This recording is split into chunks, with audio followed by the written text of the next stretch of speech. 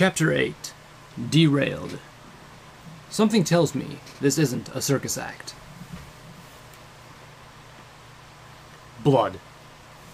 It washed around my hooves, splashed against my legs, carried by the river that was Main Street. I was standing in the middle of the river. It was full of corpses. How many ponies have you slaughtered? Asked Velvet Remedy's voice accusingly. It sure didn't take you long to become a mass murderer, did it, little Pip? V- Velvet? I looked at her in a storm and blackness. Instead, my eyes found only the bullet savaged wall of the sheriff's office. Crude spray paint covered it, shouting blasphemies. Raiders had been here. Their sickening hoofwork, sadistic mutilations, on display for every pony to see. I watched as the pony torso that dangled from the ceiling inside, its limbs hacked off and coat shaved to the skin, heave against its chains and fall to the floor with a meaty thud. I tried to scream as it began to crawl towards me. With a wet rending, the splayed body on the wall, its flesh flayed back to show off its ribs and rotting organs, ripped itself free and slothed toward me, splashing in the water. I tried to back away, only to find my hooves mirrored by the muddy street. The crimson ichor of the water coated my Pip-Buck and sunk into my coat around my legs. Calamity? Velvet? Help me! I screamed, but my voice carried no sound. The silent sprite bot watched, doing nothing, as if the lower half of a slaver pony joined the things that crept maliciously towards me, a long rope of intestines dragging out behind it. I awoke, my heart thudding hard and my body covered in cold sweat, to the sound and shake of the train. I was weak, but warm and less achy than I had any right to be. I was laying in one of the beds on the train's passenger car, a blanket over me. Besides me, Velvet Remedy was waving her horn tenderly over my recently crippled leg. To my amusement, my leg felt mended, if deeply itchy. I tried to shake the spec- spec- specter of my nightmare. This was not the first sleeping terror that my experiences outside had spawned, but this had been the most deeply unpleasant. The incorporation of my companions, or lack of them, somehow made this dream far, far worse. Velvet Remedy. The last I had seen her, she was fallen in a pool of her own blood, having saved nearly a dozen foals. My ears perked at the sounds around me, and looking over my shoulder, I saw the colts and fillies from the sheriff's cell taking up much of the passenger car. They looked weary and beaten. Two of them were fast asleep, but one had enough cheer to look me look at me and grin. That was awesome! The colt waved his hoof slowly through the air, and then stomped it down with a clop. I gave him a weak smile, my heart finally beginning to calm. Calamity turned from staring out the window to welcome me back to the land of the living. We're okay? I was hesitant, half fearing that this was just another dream waiting to become a nightmare. Velvet Remedy nodded, reassuringly. The slaves? In the caboose, Velvet said softly. And less softly, this train only had one passenger car, and I felt the foals needed the space more dearly. So, it was either the caboose or strapping them to a flat car. Speaking of which, and speaking of though I had suggested something awful was not, I decided, one of her more endearing personality traits. Suddenly, I remembered my original plan, and the locked pens that the pony captives had been caged in. But the locks. I knew Calamity could not have picked them, and I couldn't imagine Velvet Remedy, in her own youth, having piled that skill. She rolled her eyes at me. Oh, come now. I'm not the locksmith. You are. And I certainly don't have the level of telekinetic mastery that you showed. Most impressive, I should add. But I am a unicorn. I can do basic levitation. Between your missiles and the mines, I was able to bypass the need for lockpicks or keys. The train rumbled around us. Glancing out my window, I saw that we had already traversed the desert and were clearly well on our way up the mountain. The pace of the train ponies was slowing. We were getting close to the peak point of the mountain track, and my conversation with Velvet had lulled, and now Calamity disrupted it completely. Our shadow's back. I pulled myself into a sitting position, testing my mended leg. Shadow? The colt who spoke up earlier declared, Mr. Calamity thinks something is following us. I noticed Calamity was crouching to the window, looking upwards through it, towards the sky. Another. I kept myself from saying goddess in reference to the winged unicorn slaver I had battled. One of those? Like at the sheriff's? I don't think so, but there's something up there. Keeping just out of sight. If it's out of sight, then how do you know anything's there? Velvet countered. But at Calamity's look, she reiterated. Another Pegasus, perhaps? Calamity grimaced. I really don't think so. He returned his gaze uh, to the window, quieting. At least it has stopped raining, Velvet Remedy announced, looking out the window. That storm lasted for days. I turned and looked out the thick, gray cloud cover. The water had indeed stopped falling from the sky, and the clouds were a much lighter color, turning the sunlight a drab gray. Velvet, I started. She smiled at me, and my heart soared. Her previous grating remark instantly forgotten. Thank you, little Pip. Your bandages saved my life. I looked at her, knowing that there was no way those poor excuses for medical aid, magically treated or not, could have brought her health. I started to say as much, but she lifted a hoof to interrupt. No, but you managed just well enough that I regained consciousness, and from there I could take care of myself. She cast a sidelong look towards Calamity. Not to mention you and that interesting friend of yours. Calamity nickered in her direction. I stirred up my leg, surprised and grinning, Velvet reminded me. Didn't I tell you I've always wanted to be a medical pony? I studied it, and even got apprenticed. I looked at the beautiful mare, many years my elder, curious. If that's what you wanted, why didn't you? Because my cutie mark showed up. One day I sang a song to an ailing gentle pony, and it appeared. A songbird, a nightingale to be precise. And when your cutie mark appears, your place in the stable is decided. There was a sad matter of factness in her voice. It was a truth I knew too well. I even begged the overmare, but it clearly was to be my destiny to be an entertainer. My fate was written on my flanks.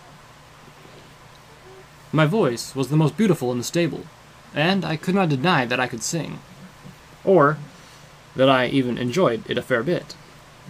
The Overmare even showed me my genealogy, proving that I was many times granddaughter of Stable 2's first Overmare, who herself was also a legendary singer. I nodded, having heard the heart wrenching mu- music myself while in Turnpike Tavern. How could I fight the weight of all that? The Overmare, she graciously allowed me to indulge my hobby in the small times when it wouldn't interfere with my duties of uplifting the stable's flagging morale. But my dreams, I was told, were not for me. Suspecting the answer, I had to ask the question Velvet, why did you leave the stable? Velvet whined demurely. Again, because of my cutie mark. She turned, pulling away one of the medical boxes, to show me the nightingale on her flank. Wings outstretched, beak open in song. Do you see what it is not, little Pip? I saw what it was, what it has always been. A bird of beautiful, beautiful song. It's not a bird in a cage, Velvet Remedy said, her voice pleased. And, if it is not, then I was not meant to be either. Come horror or ill, I needed to be free. I'm gonna take a walk outside, maybe stretch my wings. I looked up from the book I was reading to pass the time. Turns out, Equestrian Army Today was all about battle saddles. The train was slowing to nearly a stop. The engine had already crested the peak, and the train ponies were drawing the rest of the train down, over a lip, and around the next bend, before releasing it and jumping aboard themselves. There wasn't going to be another chance to get some fresh air, or for Calamity to get himself a better look at our shadow. I nodded, bidding him to go, and Velvet Remedy was probably on her way back from the caboose. She to have been making regular checks on the adult ponies we had rescued. And I was entertaining taking a quick try at myself, once she was there to watch the foals. I waited. Time seemed to have slowed to a crawl like the train itself. She was taking her sweet time. Had she possibly gotten lost? No, that was silly. You couldn't get lost on a train, could you? I chuckled as I realized that. If I ever got lost on the train, my Pip-Buck's automap spell would guide me. Poor Velvet. However she could find however could she find her way on a train without it? I had offered Velvet Remedy her Pip-Buck, but to my shock she had refused it. I stressed how unbelievably useful a tool it is in the equestrian wasteland. She said I could keep it as a gift, and as an apology for giving it to me in the first place. She didn't blame herself for my leaving the stable, but she regretted having played a hoof, and truthfully a whole pony, in my decision. I had tried one last time, and she finally told me flatly, I escaped that prison. I will not wear its shackle. No matter how gilded a shackle it might be. At that, she had left to check the ponies in the caboose. I was brought out to my retrieve by the draconic roar of minigun fire, followed by the death screams of the train ponies. A mere second later, I heard the switch pulling team, who were currently acting as guards, open fire in return. The foals began to panic, and I was attempting to calm, or at least corral them, when Velvet Remedy returned through the back door, looking worried. At nearly the same moment, one of the train ponies from the switch team burst in, shouting and waving his paws, a lever action shotgun floating by his side. Slaver ambush! Protect the children! What? How could they have gotten ahead of us? But before I could ask, a grizzly pony wearing slaver armor, spiked hooves coated in blood of the train ponies, broke into the passenger car and reared up, intending to end the life of another. I didn't have time to think. I just drew my assault rifle and fired at him. The train pony ducked, his own gun swinging around and unloading into the slaver. I couldn't tell whose shot felled him. Flashes of my nightmare came back to me. I hesitated, but mercifully, only after the attacker had been taken down. And then with a stomp, I activated my EFS and watched the flurry of red marks fill my forward compass, milling about the few friendlies that were in front of me. I turned to Remedy, levitating out the needler gun and filling it with a marked clip.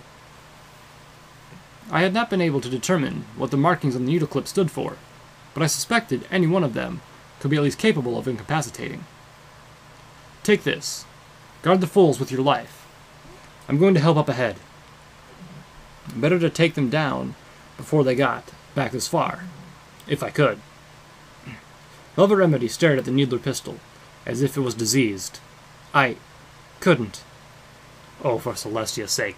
You have to! You're not going to survive out here if you aren't willing to fight back. I pointed towards the foals.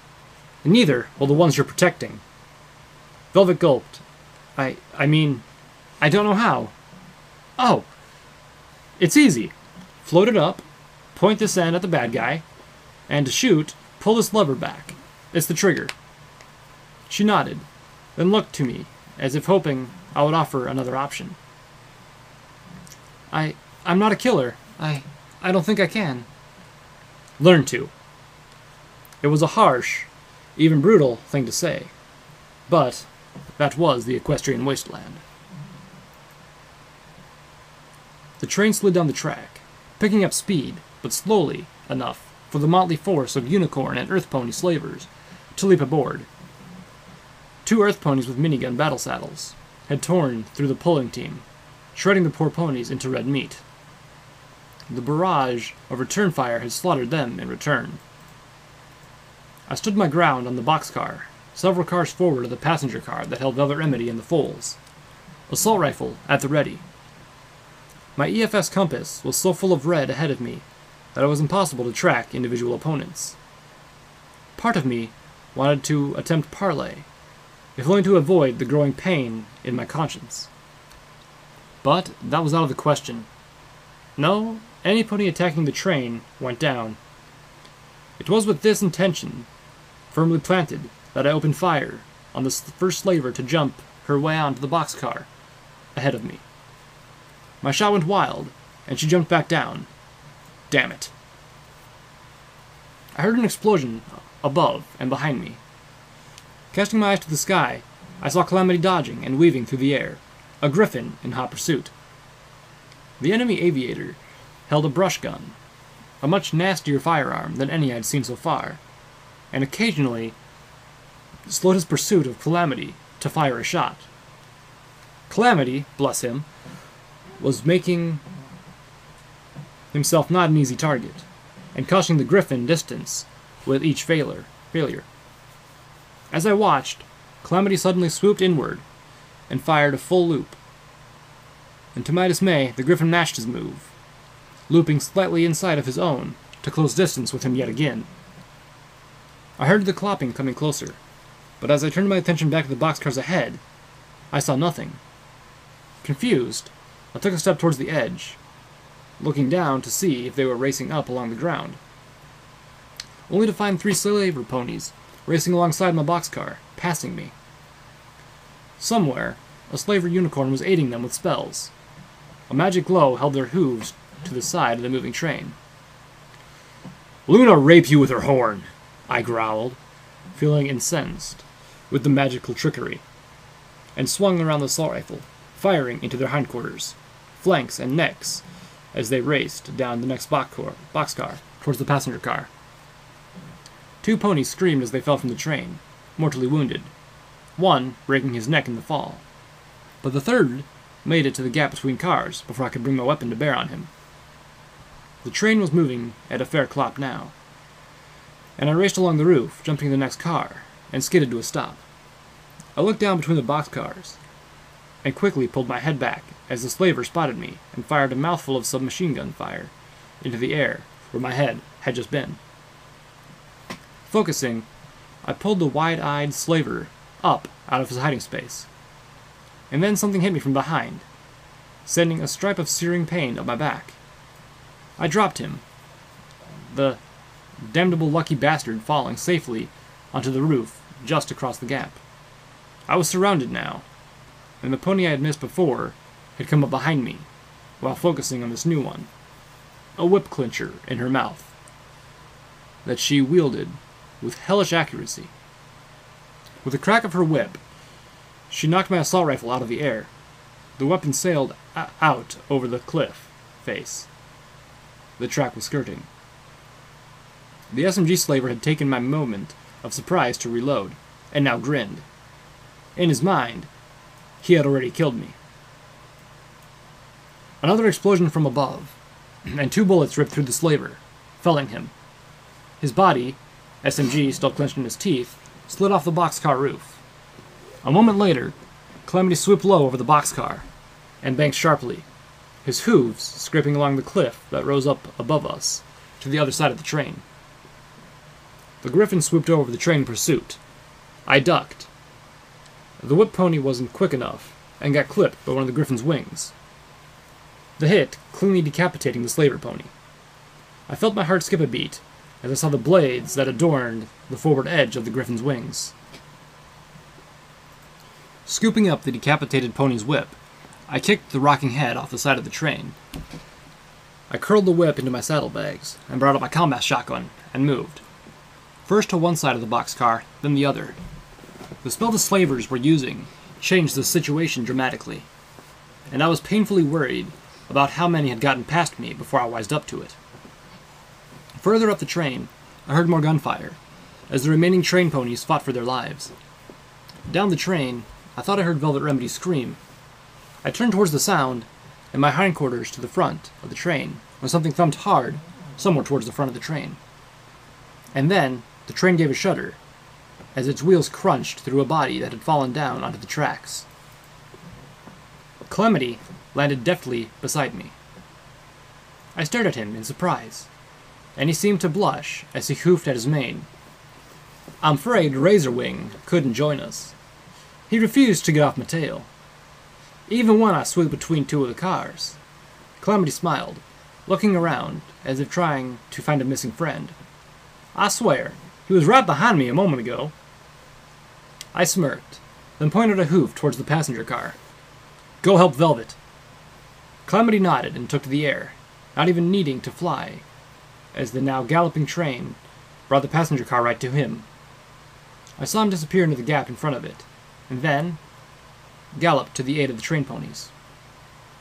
As I did so, a frightened voice in my head asked me what my life had become, what I was becoming.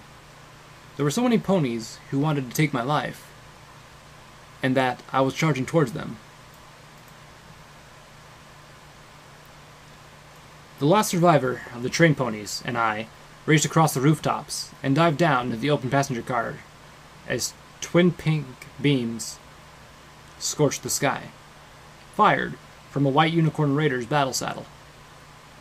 The train pony, who had been with us a second ago, was now nothing but sparkling pink ash blowing away in the wind. The passenger car was empty. Sort of. The body of a black coated slaver hung from the ceiling, filled with needles. The spell on its hooves was keeping it from falling to the floor, even after death. It gave the earth pony, with me, quite a start. To be honest, I might have shrieked just a little too. I tell you, I prefer slavers who shoot bullets, the train pony gasped, recovering. You can't wrap a bandage around being turned to dust. I quite thoroughly agreed. Velvet Remedy ran in through the back door, coming off the flat car behind us. Seeing the train pony, she motioned for him to head behind her. Please, go meet up with Calamity. He's at the caboose. We've got a nasty one on the way, I warned her. Another four coming from behind her. I think that's the last of them. But one is using a battle saddle with magical energy weapons.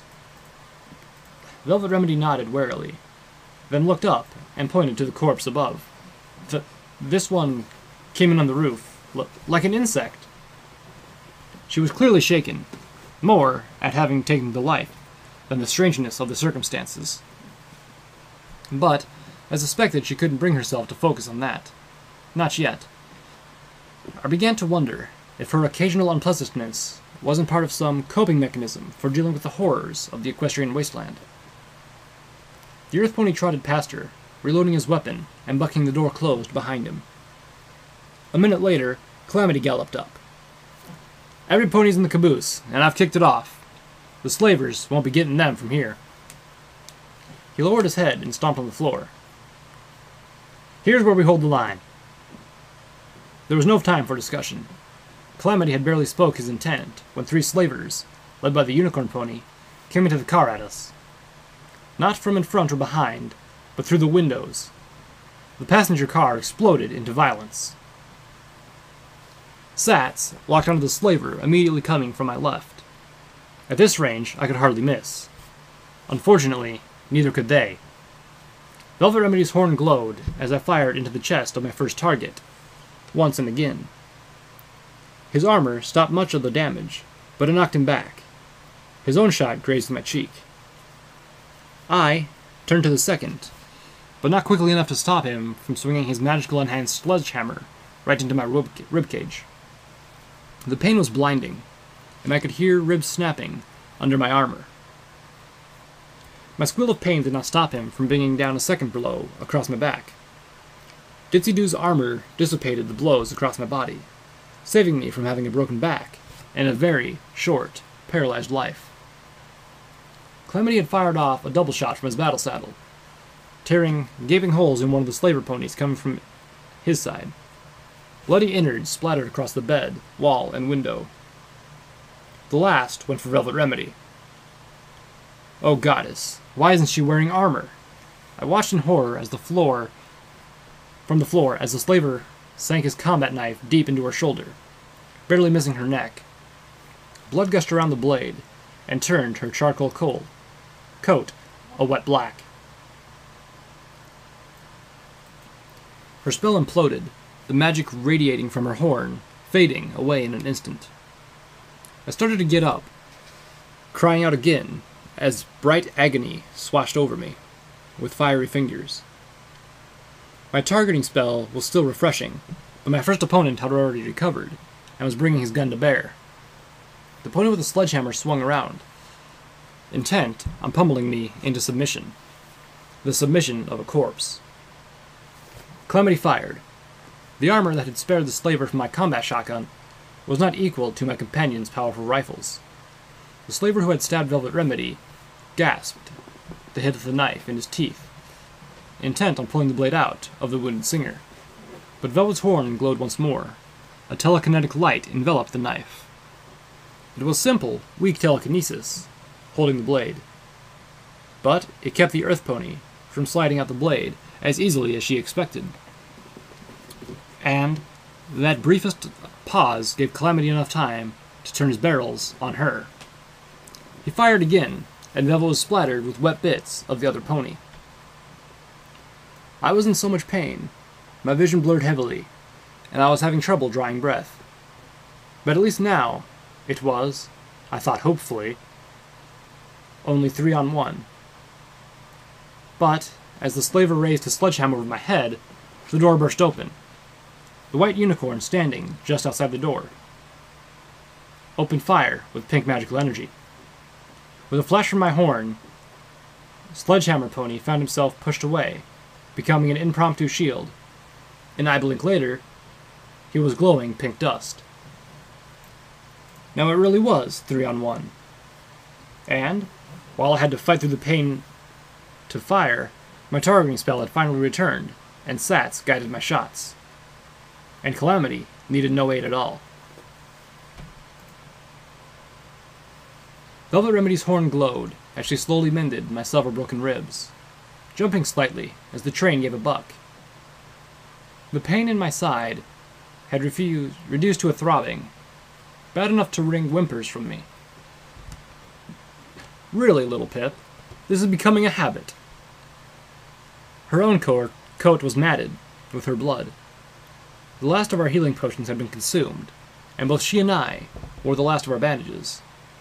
Only Calamity had made it through virtually unscathed. The slavers lay dead around us, save for the one who had plummeted me with a sledgehammer. His body had been vaporized, turned to glowing ash. I recoiled at the thought that that might have been me, or that I might have breathed some of him in. Some of him in. I turned away, staring at the floor. Though we had won, it didn't feel like a victory. Instead, I felt that we had led half a dozen train ponies to their slaughter. And, in the end, I had failed in the fight as well. If Calamity hasn't been, hadn't been with us. Reading me far too easily, Velvet Remedy tried to soothe me.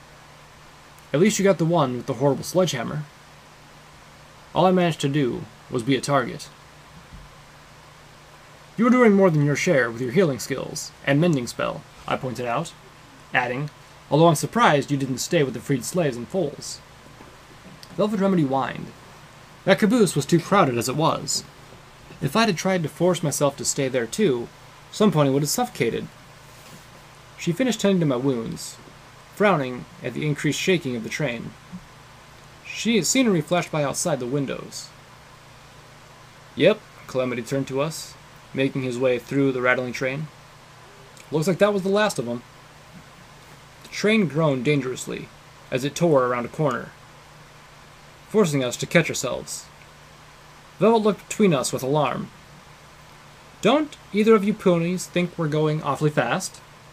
How does this train of yours slow down? We use the brakes. And where are they? In the caboose. Velvet's ears dripped back. She stared levelly at Calamity. The caboose? That would be the big red car at the back, right? The one you just kicked free of us? I felt a surge of panic. Calamity grimaced a little. Yep. Pondering. You know, that would explain the look the train pony was giving me. I begin to see how you got your name, Velvet said flatly. Several minutes of confirming our situation and arguing what should have been done followed the train continued to race down the mountain out of control. Soon, the three of us were bracing ourselves against every turn. We were still only halfway down, sheer cliffs flying by on either side. And in the end, I decided there was only one solution. Calamity, fly Velvet Remedy to safety. Velvet's eyes widened. But what about you? Resolutely, I stomped on the ground, trying to ignore the twing in my recent mended leg and hips and ribs. I'll be fine. I figured out another way off. The two of them looked doubtful, but they trusted me. So, with a nod, Calamity and Velvet made their way to the nearest flat car. I'll be back for you, Calamity promised as he spread his wings. The wind tore Calamity and Velvet off into the air. And then I was alone on a runaway train. Okay, I thought to myself. Now was the time to actually think of a way off. The train charged forward towards the mountain curve, hitting it far too fast. The train tilted, and I could feel its wheels coming off the track.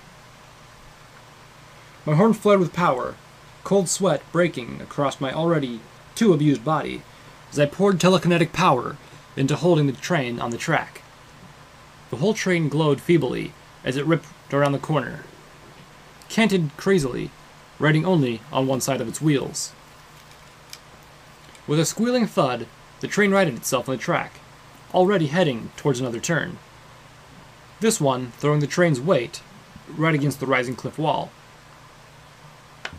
The rocky wall raked at the train, gouging the boxcars and rending most of the roof off the passenger car with a resounding roar. I clenched my eyes against the storm of splinters. When I opened them again, wind was buffeting me fiercely through the gaping wound in the train car. I could see another turn ahead, this one even sharper. Trembling with exhaustion, I knew there was no way to prevent the train from leaping the tracks this time. I focused again, dreaming that I could levitate myself to safety.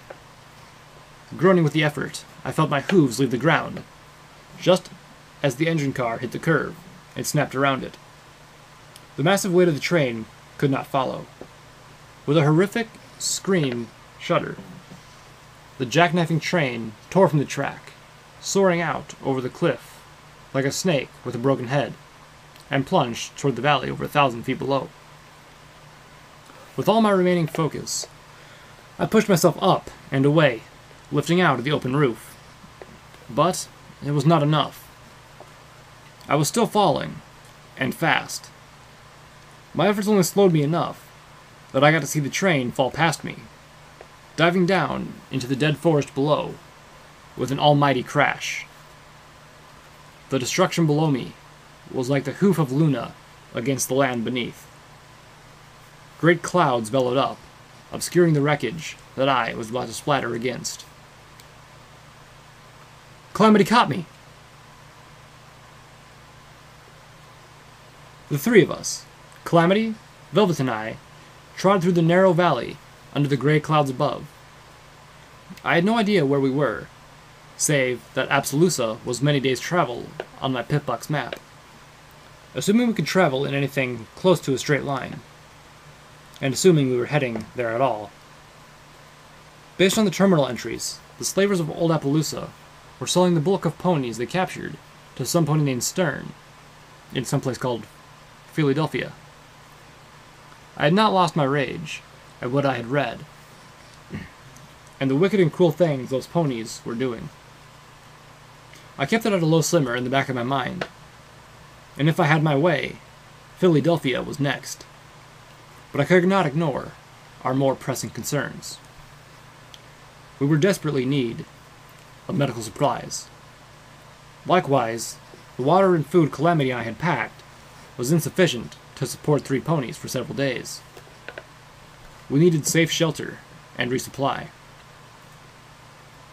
Once together, we had rested for several hours. The three of us had just been going through a harrowing battle, and it would have been insane, if not impossible, to press on without giving ourselves time out. In truth, we needed much more than we took.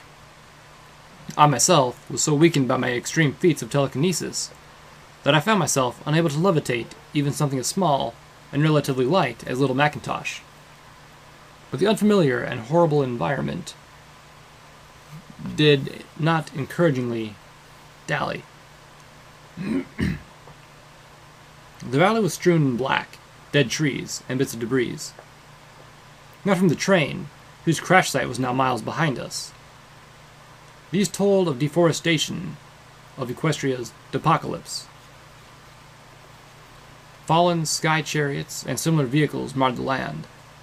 According to Calamity, we were below the outskirts of what had once been, high above us, been the Pegasus city of Cloudsdale. Now, there was only nothing up there but the clouds. And on the ground, only the grave marker of the sudden ending of so many ponies' lives were the scattered remains of the Pegasus vehicles that had been too far from the city to be instantly consumed, but not far enough to save those pulling them. Inappropriately upbeat music, heavy on the tuba, floated like a siren song through the valley. My ears perked, and I began galloping towards the source. My surprised companions scrambled to follow suit. Little Pip! Philip gasped. What is it? Calamity was no less confused. He knew the sound of a sprite bot, but could fathom no reason which I would hurry to catch it. Reaching the sprite bot, I enveloped it with my horde's magical energy, dragging it to attention before me. Watcher! Calamity landed, looking at me strangely. Velvet, considerably further behind, dropped to a trot, as she saw no sign that I was in immediate danger of being crippled yet again. Watcher! I shouted crossly, giving the annoying Spritebot a firm shake, as if doing so would shut off the music and summon my cryptic acquaintance. Watcher, I know you can hear me. I need you right now. Li'l Pip, Calamity slowly began. I don't think. He stopped. Eyes widened fearfully as the music ended in a mid song pop, and the Spritebot spoke directly at me in a voice he had never heard come from a Spritebot before. Uh, hello, little Pip. How can I help you? The tiny, artificial voice addressed me clearly, spooked my wasteland experienced companions quite deeply. I need you to send a message to New Appaloosa. I waved a frantic hoof. There's a caboose headed down the mountain without the train. The train pony inside will make sure it reaches the bottom safely. But there are a lot of ponies inside, including five young ones who cannot survive out here on their own. New Appaloosa needs to send wagons to get them. Watcher was silent, hesitant. Watcher, they're not in good shape. They have no food or water. Time is of the essence. Watcher spoke slowly. I don't know, little Pip. I'm not in the habit of. I don't care, I shouted crossly. You care about these ponies, don't you? Do you want to see these fools die? No, uh, I mean, yes, I care. No, I don't want to. Then get help. I don't have time to indulge your shyness. Watcher. Lives are at stake. With a pop, the Sprite Spot song continued. I released it, unsure whether to feel relieved or disgusted. Little Pip, Velvet nickered, clopping up to me. If I keep ordering your friends around, you'll soon find you don't have any. I frowned, reminded suddenly of my friendliness, friendless nightmare. Calamity gave me a look that suggested she might be right. Velvet kept walking, and I fell in line behind her. Footnote Level up. New perk Light Trot. You are agile, lucky, and always careful. Or maybe you have just mastered the art of self levitation. Either way, you were never offset. You never set off enemy mines or floor based traps.